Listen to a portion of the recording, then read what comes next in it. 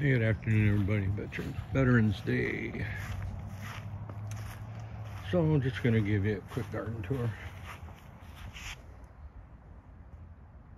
There's my grape crop. So this year we've eaten one grape. Wasn't too bad. No, two. One for Rachel, one for me. It was pretty good. Here's my beaded curtain. A little privacy.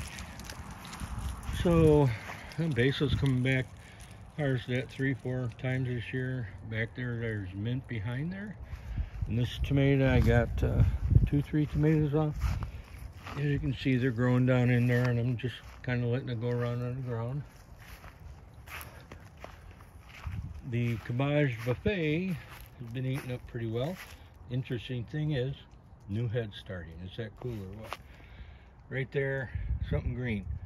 It's going to be broccoli, cauliflower, cabbage. Same thing with that little guy. Same thing here. Broccoli, cauliflower, cabbage, not sure.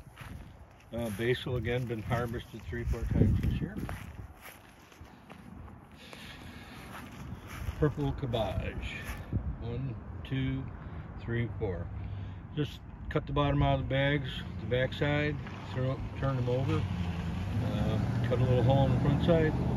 It's just going to grow in that little pet uh, plastic soil bag down into the ground. So that's part one. Bye.